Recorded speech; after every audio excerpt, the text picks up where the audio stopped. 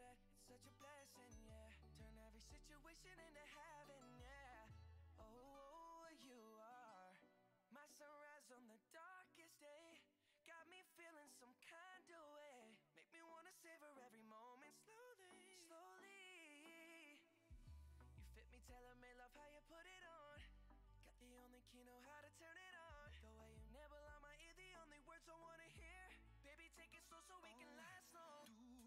el imán y yo soy el metal. Me voy acercando y voy armando el plan. Solo con pensarlo se acelera el pulso.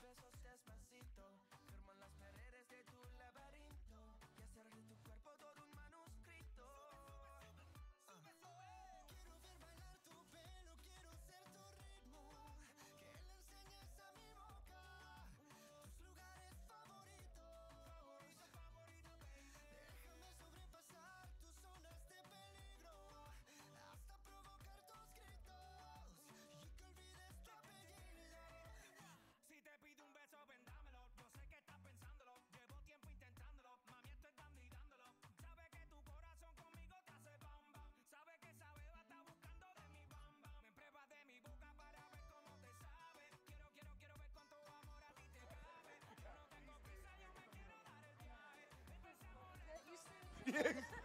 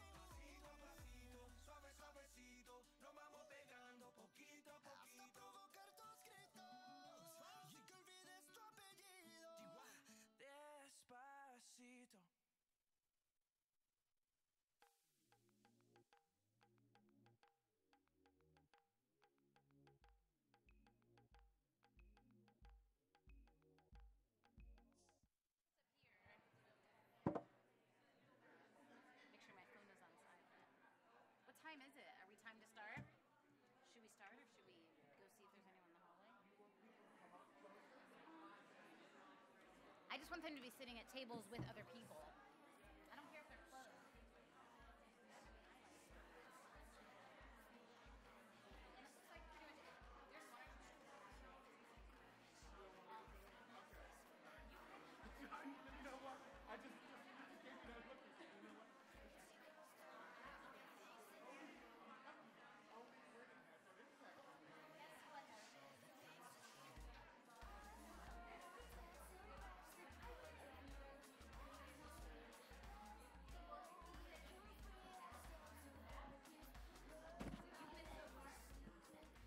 Uh, good morning, everyone. Please come in and take your seat. How's everybody feel today? Hey, that is really good for a Friday after the week you've had with all this work. So uh, give yourselves a round of applause for being here, being up. We have a little bit to go, and um, uh, my name is John Henderson. I work for Foundations, and I can't tell you what a pleasure it is to introduce this next person. When you see me up here cutting up, it's usually because there's either friends or family or both involved. And Erika happens to be one of my one of my best friends I've known for many many years. Um, I'm going to introduce her quickly. Erika Petrelli has been in the field of education for more than 15 years, and she currently exercises her dynamic education experience as the Leadership Program's Vice President of Leadership Development. In that role, she's responsible for overseeing and supporting the development of over 200 employees. And she has a look in her. You can't tell now, but she knows me. And she said something to me earlier, and I, I guess I looked away. And she said, Are you paying attention? And I just like stood at attention. and, she, and even with heels on, I'm still two feet taller than her, but I got the fear of God the minute she said, Are you paying attention to me? So, of course, I am. but over 200 employees Erika is in charge of. The creation of new and evolving content and curriculum, and the implementation of services throughout the country. That's one of her specialties. You're going to find out a little bit more about that. Erika also travels to educational conferences all over the country. That's how I've known her from our national conference called the Beyond School Hours conference that Foundations puts on every February. And uh, she's presented workshops on leadership, management, training, and motivation. So please give her a nice, warm Philadelphia. Well, since you're in Philadelphia, since everybody's not from Philly, give her a nice Philadelphia welcome.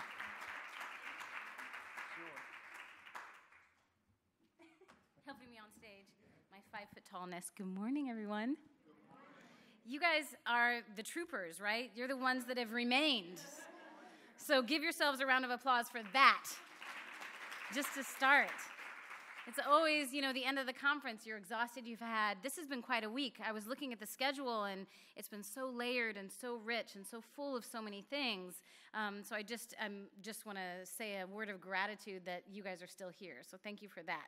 I just want to get a sense of, because I was looking at the the United States map out there where you guys were drawing kind of where your connections were coming from, which made me start to wonder where you're coming from. So just let's see where you're coming from.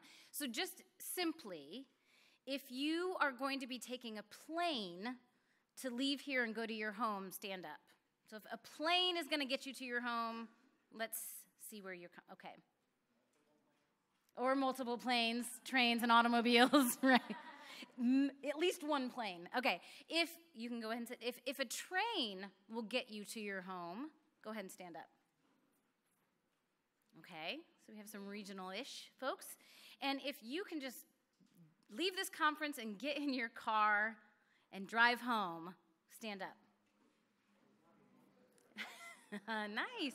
We have a good mix. That's fantastic.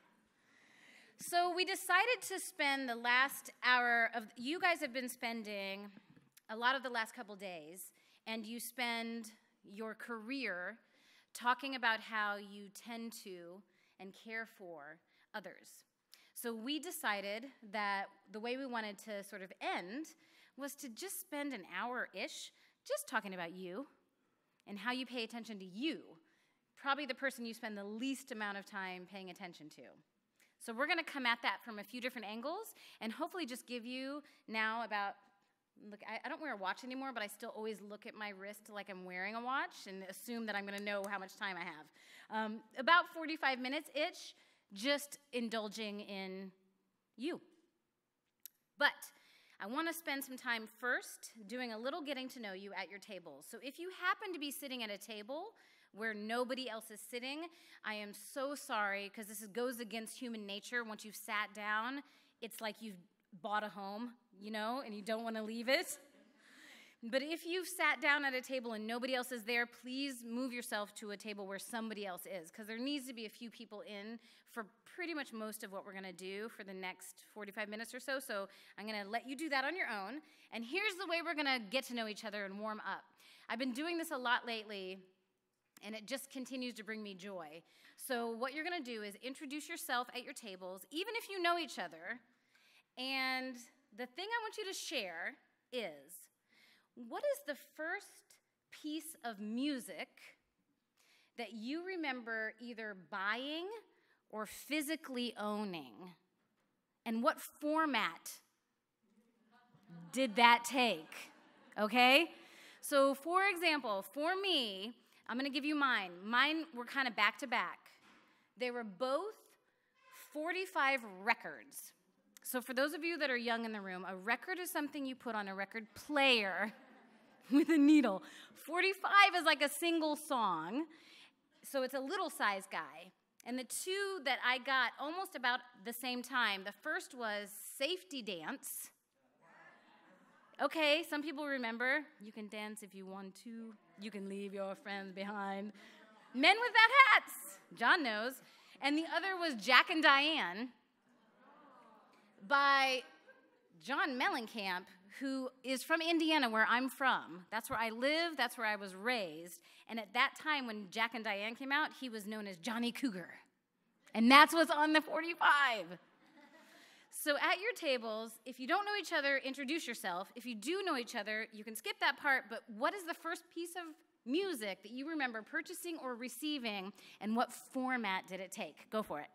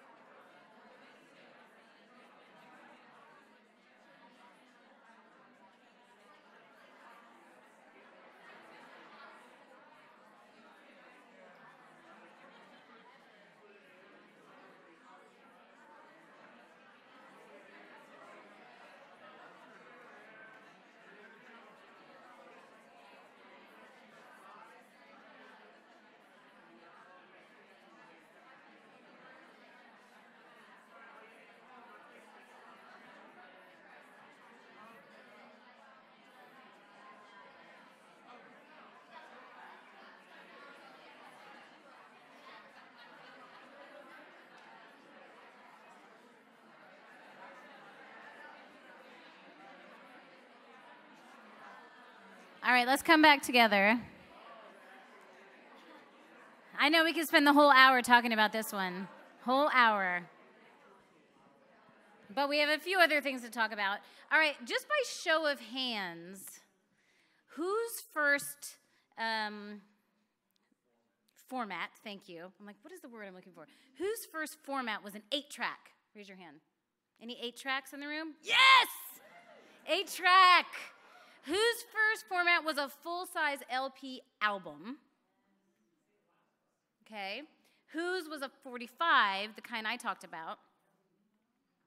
Whose was a cassette tape. Whose was a single. Singles where it's a cassette tape, but it only had the one song. It was a mini, it was a cassette tape, gorgeous, and you could, I think you had two sides, yeah, so with two songs, but you bought the song you wanted, and then maybe you liked the one on the other, I don't know. CD, who was the CD? There's a whole thing that happened in between CD and cloud that I don't even uh, remember what it's called. It's a little block thing. What was that called? It, does anyone know this? It's I, somebody talked about this recently, and like I don't. I was, I I was gone at that time. I don't know. Like an MP3, but it was it was like a device that you actually put in a thing.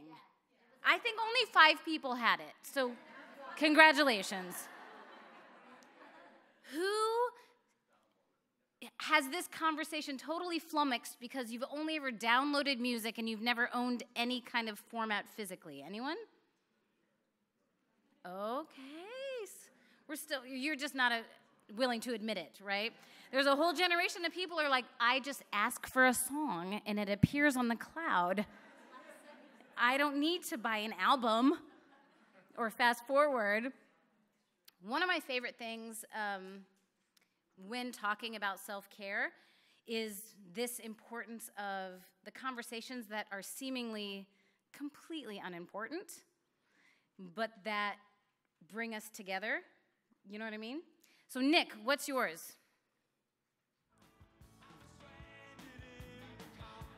Nice. Billy Joel. What format did it take? CD. I love it there's so much that binds us together, and we don't allow ourselves those water cooler conversations where it's like, ah, we're just talking about something that doesn't mean anything, but it means everything. And music is one of those conversations that I find we literally could probably spend the whole hour just talking because one memory about the music brings us to another memory, brings us to another, brings us to the friend, brings us to the this, to the that.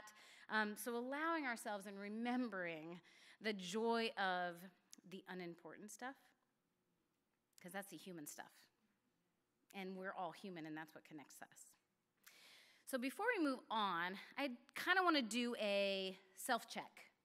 Uh, because I think for me, the interesting thing about the conversation of self care that I've had recently is just kind of clicking into awareness and, and understanding about what's going on with ourselves.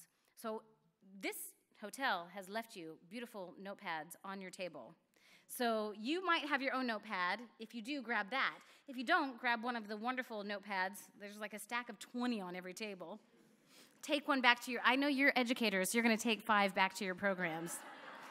All the pens and the candy and the notepads are gonna be gone by the time you leave this room. Whatever's left in your suitcase, I'm gonna be stuffed in. Okay, so on your notepad, I want you to make a top five list of the top five things that are most important to you in your life right now. So, whatever that means to you, that's intentionally an open ended question. But when I say to you, what are the top five most important things in your life, just write those down. One, two, three, four, five.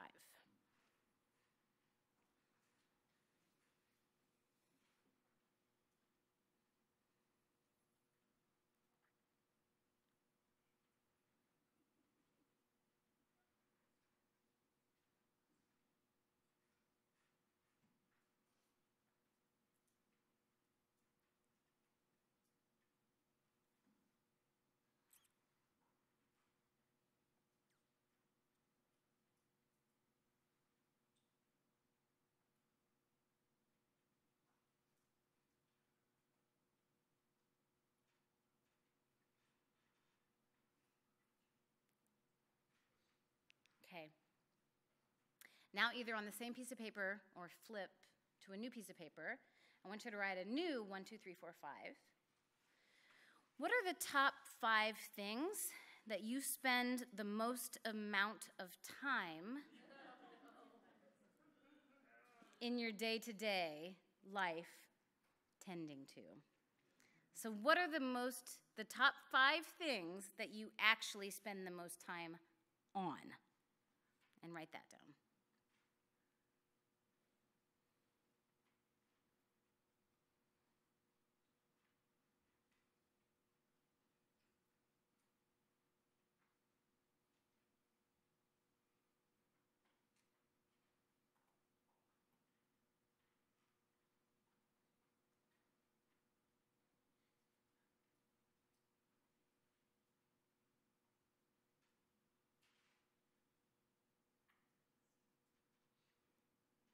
Okay, more of you are, looking at me than not. So I'm going to assume that last list went pretty quickly. So now just just compare at your table with a partner or with your full table. I heard Rhonda go when I asked that question. Just look at the two lists side by side and just share any observations you have about the similarities or differences between the two lists with your table mates, just for a minute or two. So just converse at your table. What do you observe about your lists? And Nick, you can play some music.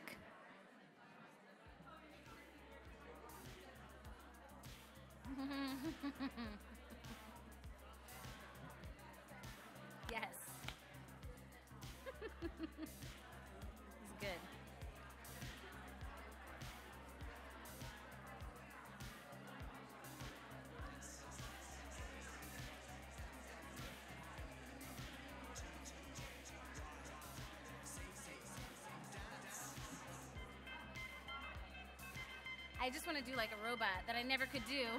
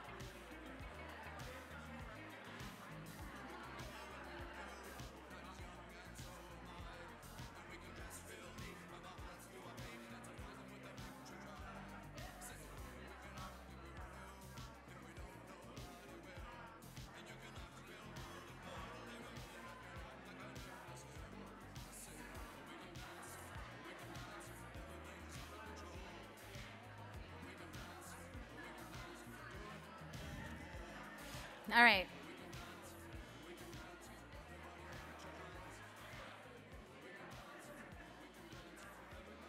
All right. Just only because our time is short, and I have a lot of things I want to just throw at you to get yourself thinking about self care. Does anyone have any observations that they want to share for the whole room about your list? Yes. There was almost no overlap in your list. What did that say to you? You're not focusing on the right things. Okay. What about you? Yes.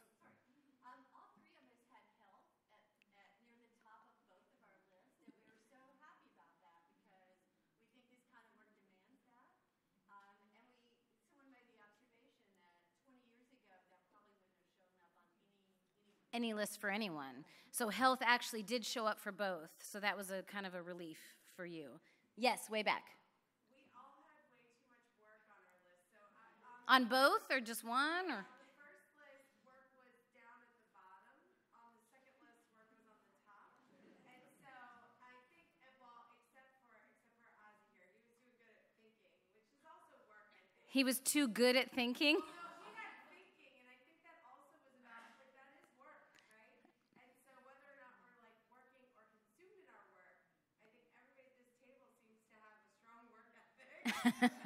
okay. Interesting. Interesting your observation though that I just want to point out that for your personal the most important list the work was more towards the bottom and the what you spend the most time on the work was more towards the top so the inversion of that. I felt like I saw any other hands? Okay, go.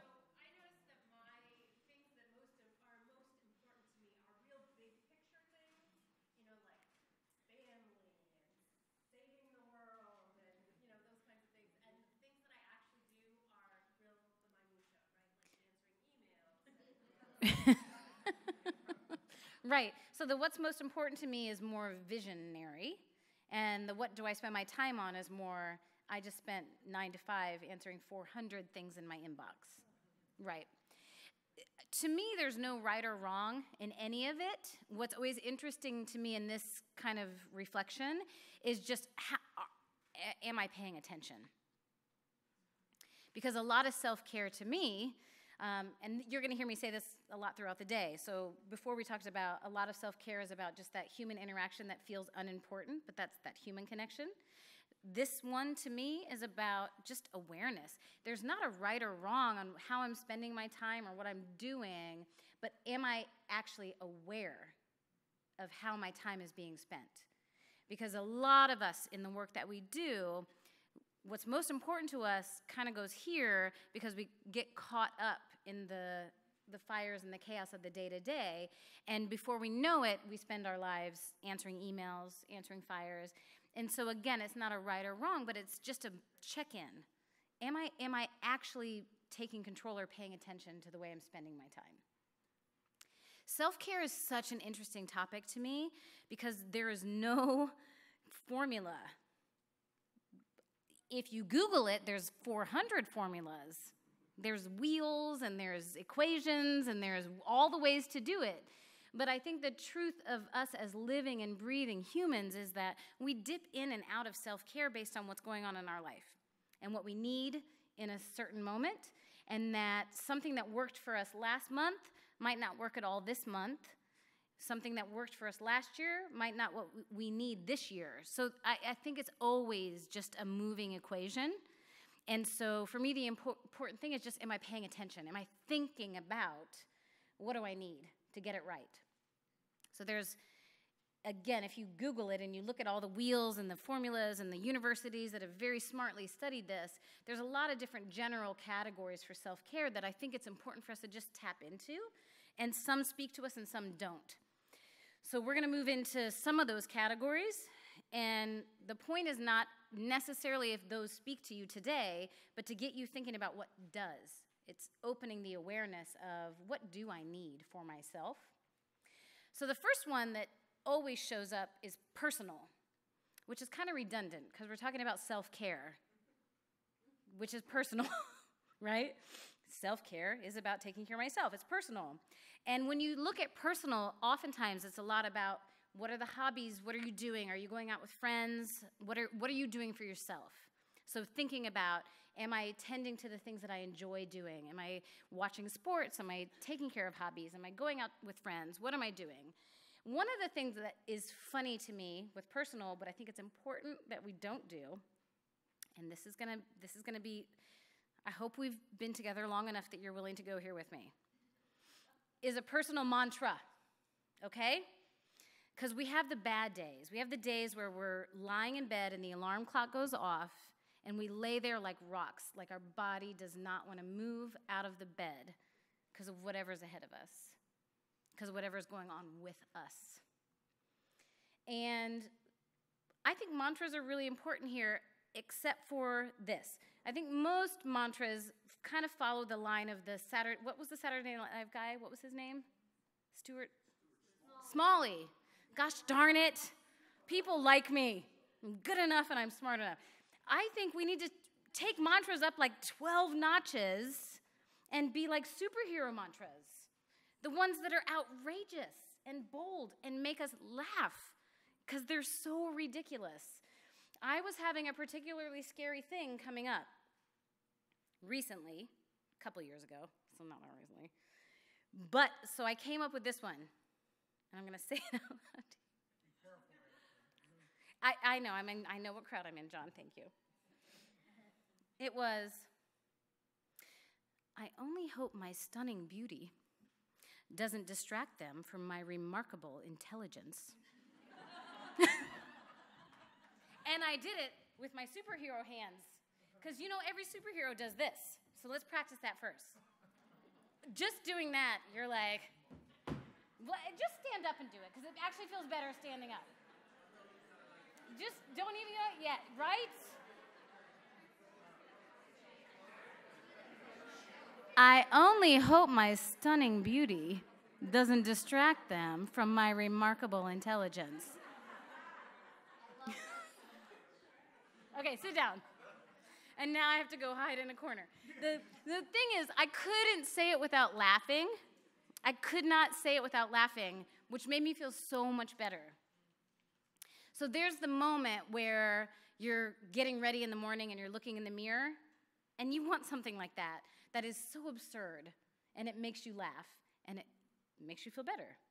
Or there's something when you wake up at 3 a.m. and those demon voices start to come, where if you say it, it hopefully makes you laugh, makes you feel better. To me, the personal mantra that works best is the one that is so outrageous that makes you put your superhero arms on and allows you to face the day. So the challenge for you right now is to take, you got your piece of paper, take one minute to come up with one that's as ridiculous as mine that you're gonna that you're willing to share in a minute to your table mates, okay? Yeah, come on. And if you need help, just do this with yourself. What is what does this feeling do for you? A mantra that makes you feel like you are staking your flag into the island of you, which is the most awesome island anyone would ever want to come to. What is, what is that flag? Write a, write a mantra for yourself right now that you're going to share for your table. Nick, give us a song that is like a superhero song.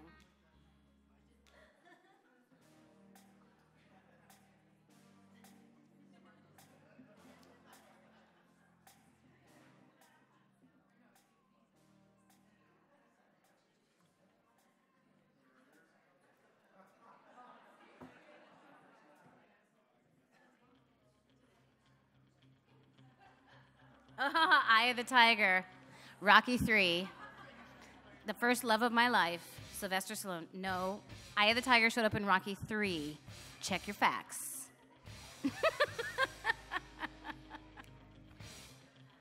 they were running on the beach, him and Apollo Creed. I'm a Rocky fan, don't mess with me.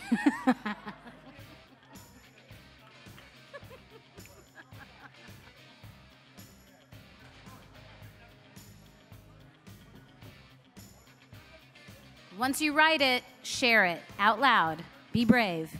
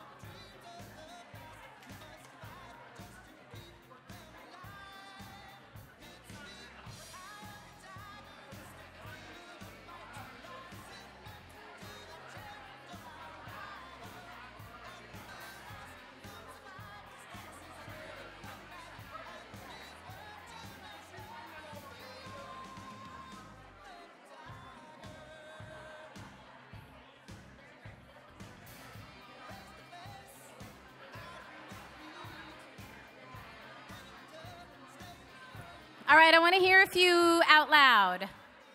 So, who has the courage to stand up with your superhero arms? Let's hear it. Come on. If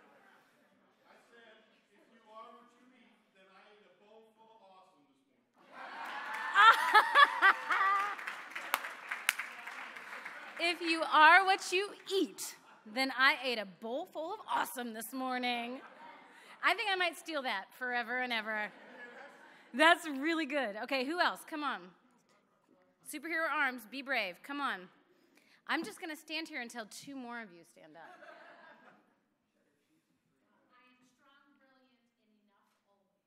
I am strong, brilliant, and enough always. I love it. What else? Yes. Of course, you know what? There's a whole book called Steal Like an Artist.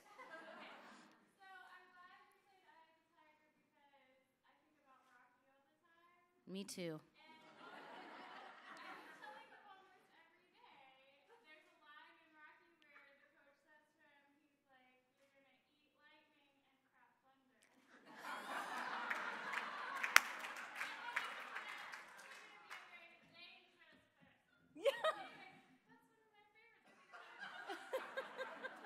She is dangerous, people. Watch out for her. Maybe all be dangerous.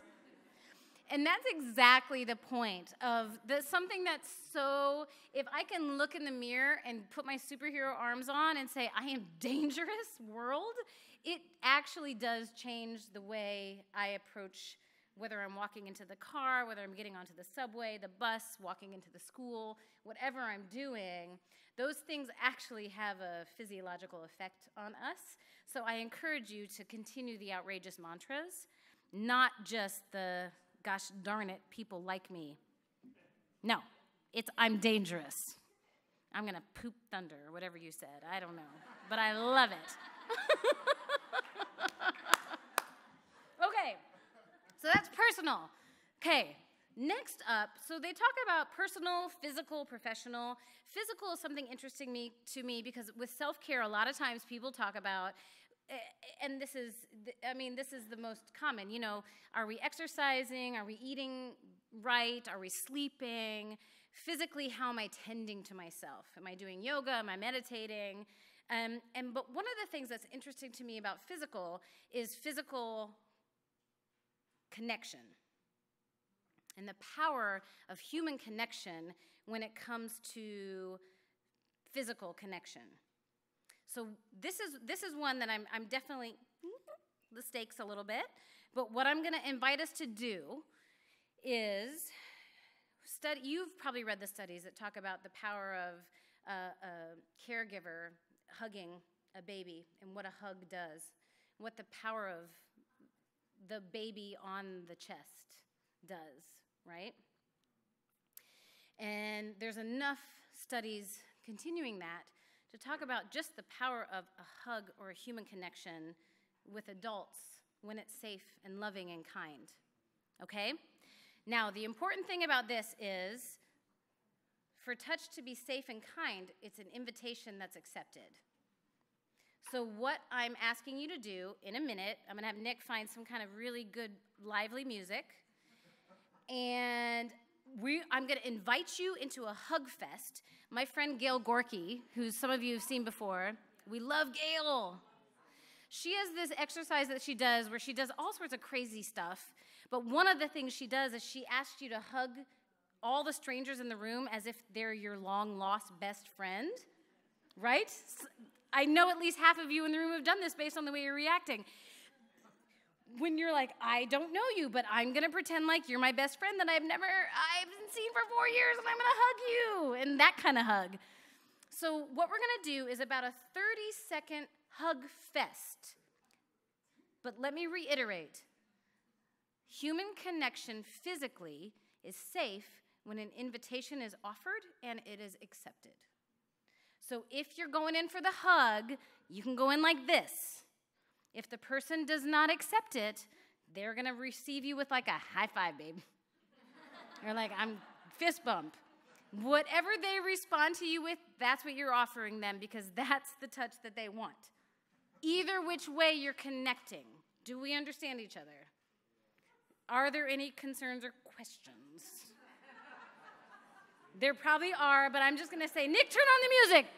One minute go. Hug fest, up and at 'em, out of your tables.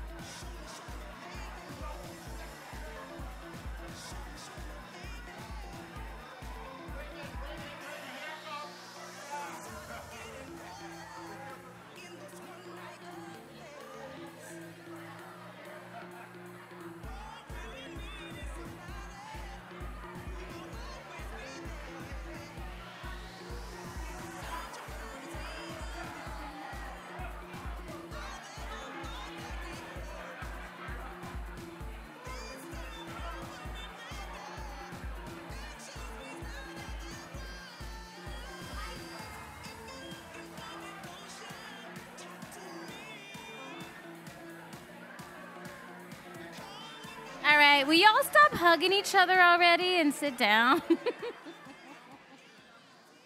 What's with all the hugging?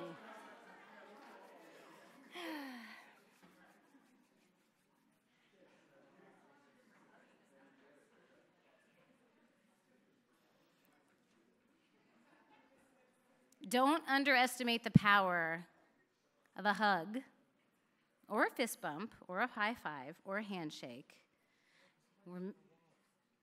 except for if they steal your wallet. when it's safe and loving, and that ability to look in each other's eyes and just say, Oh, I see you. I see you right now. Let's just have that moment, you know? Um, there was somebody that I worked with once that was talking about how so often we hug these days in the like pat, pat, pat sort of way. you, you were doing that? yeah. You're like, ah, it's so nice. Yeah, yeah. When actually just allowing yourself connection is, it can be very vulnerable, but it actually, it's just physiologically so good for our bodies and so good for self care. So, who are the people in your life that you can have those moments with? So, we talked about personal, we talked about physical, talk about professional. Okay, so professionally, you're gonna hear all the self care tips around setting boundaries, saying no, turning off your cell phone, not answering your emails after 6 p.m., etc. One thing that I don't think we talk about professionally that actually is a self care tip that might not feel self care um, when you first think about it is gratitude. Gratitude, somebody once said, is love in action. And when we actively cultivate gratitude, it changes it doesn't just change the environment that's external to us. It changes what's happening to us inside. So, first thing I'd like you to do is just talk for a quick minute at your tables about a few things that you're really grateful for in your work right now. So, just chat at your tables just for a minute or so. What are you really grateful for at your work right now?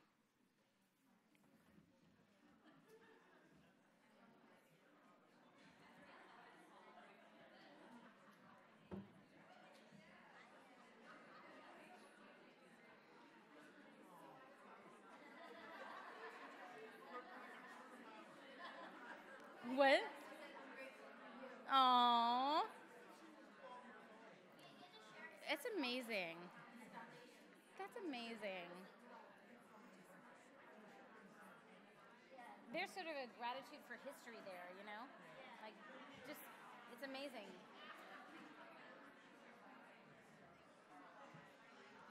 Okay, that was the easy part, so I'm not going to let you linger in that for long. Here's the hard part. What I want you to do right now is on your notebook, get a new piece of paper. What are the top three areas that you're really struggling with at work right now?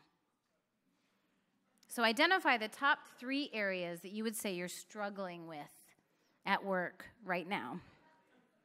Just write them down and then pause. You're struggling at work.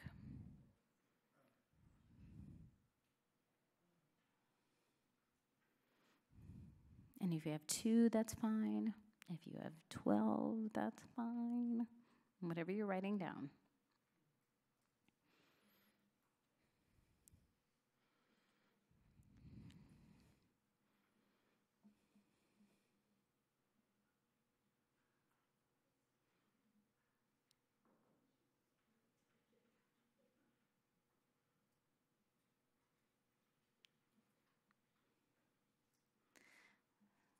So, to me, the beauty of gratitude is when you can find gratitude within the struggle. So, what I want you to do is look at the three or two or 12 things you wrote down and where, where can you find gratitude in that struggle? What's the gratitude for you there? And you can write it down or you can talk about it your, with your table mates but how can you find the gratitude within that struggle?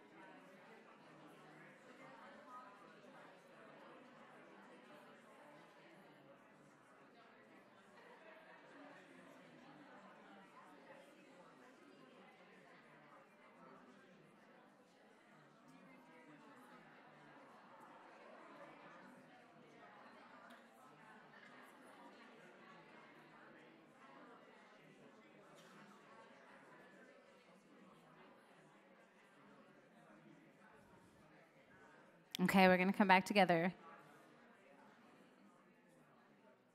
Again, there's no not enough time for any of these conversations, but hopefully all of them are at least getting you thinking about yourself and the areas that you can be intentional about.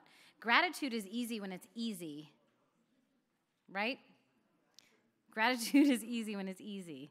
Oh, it's so nice that they left me this pen. That's easy. Everything is more difficult when we have to be intentional about it. But self care is about just opening our lens to awareness and intention. And what are the areas, areas that fuel me, that tend to me, so that I can be of better service to others? It's going to be different for everybody. For as many people are as in this room, there's probably as many different ways that make you feel better, that make you feel tended to. So it's really about awareness and intention. However, we all benefit from each other's good ideas that we never thought about. So, next step, take one brand new piece of paper, and I want you to think about the times in your life when you're really stressed or overwhelmed, you're struggling. What's something that you do for yourself that is helpful that's not counterproductive to your well being. So, what's something that you can do that's helpful during those times?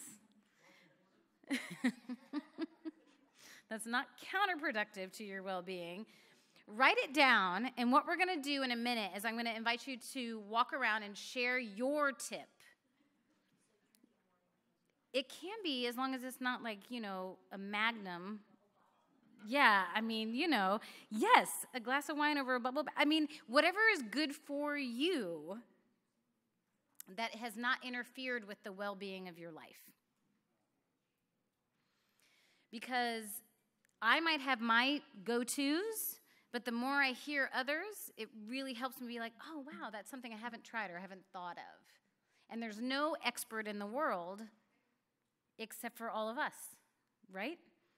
Because it's all different depending on who you are. So you're not going to find an expert that's like, here's your top 10 ways that you're going to feel better. But the more you talk to people, the more you're, you will understand and hear and learn.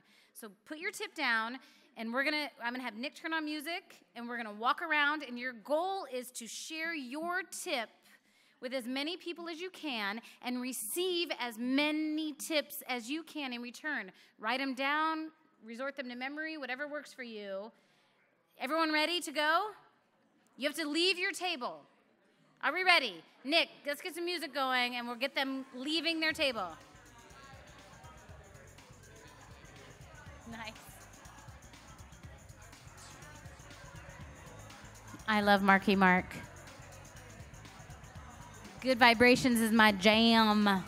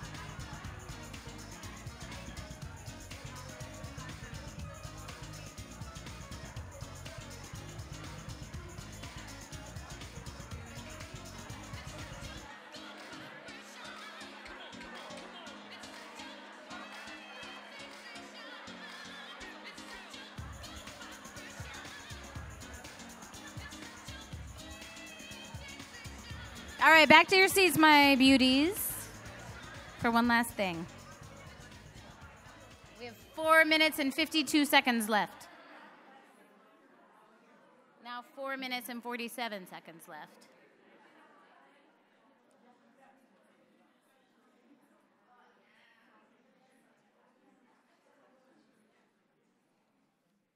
Okay, so we talked about the importance of just human interaction, just the unimportant things that are so important the communication, the connection, talking about music, talking about whatever, right? We talked about the importance of awareness. Just are we paying attention to the balance in our life or not?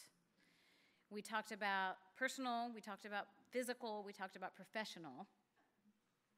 You just gave each other tips, which I think, again, is the best way for us to just gather our arsenal. Because, like I said in the beginning, I'm going to need different things at different times, and I'm going to need more or less of it at different times, depending on what's going on.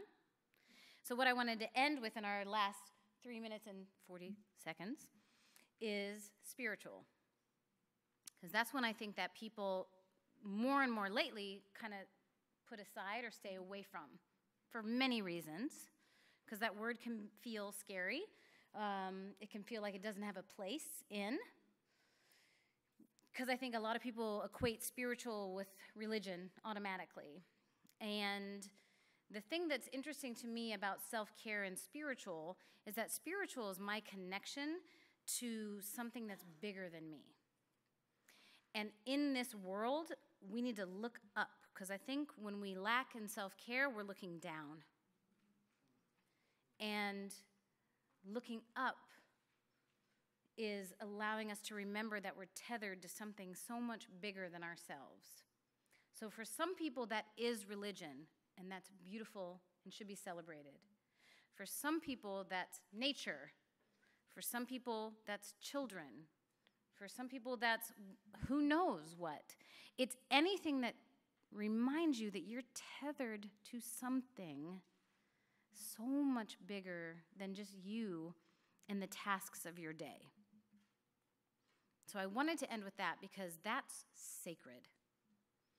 So, what I want you to do for just a minute is close your eyes and think about what that thing is for you. Whether it's a religion, whether it's nature, whether it's a child, whether it's a relationship, whatever it is that reminds you to look up and see that you're so much more than just your day to day tasks. So just close your eyes and get that thing in your head, whatever it is.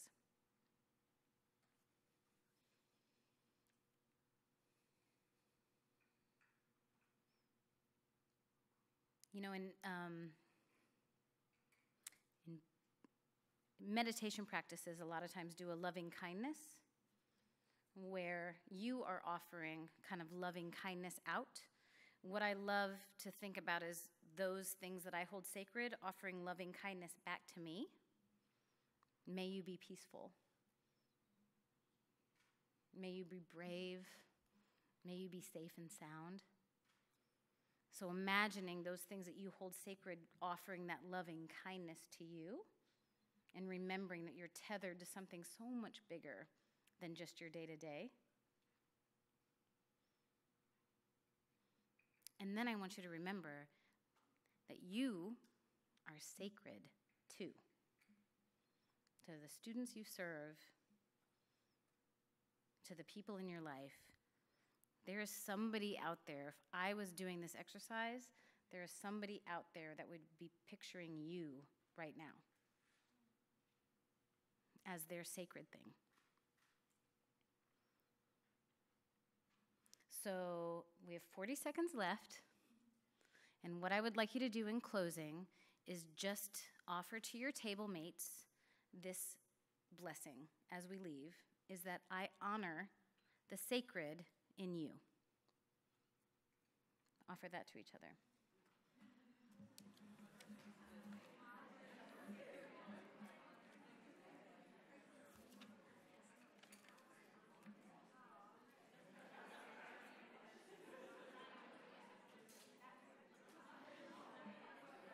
Right, safe travels, everyone, to wherever you're going.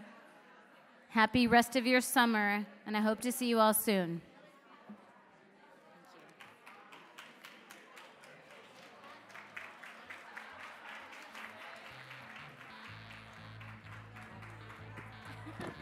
Everybody, give Erika Petrelli another great round of applause. That was a fantastic presentation. I believe our CEO, Rhonda Lauer, would like to say a few words.